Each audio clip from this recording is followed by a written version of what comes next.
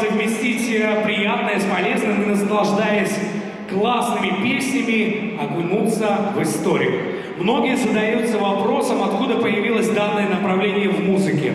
Я отвечу на этот вопрос. В 1950-х годах в Америке зародился новый стиль а, и новое популярное направление музыки – рок-н-ролл. Впервые термин рок-н-ролл ввел энергичный диск-жокей Алан Фрид.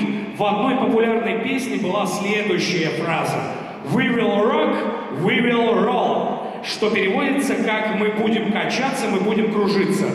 Так, в принципе, и появился термин рок-н-ролл. И сейчас мы будем и качаться, и кружиться, и громко аплодировать, потому что на сцене Елизавета Левшинская с песней «Мама».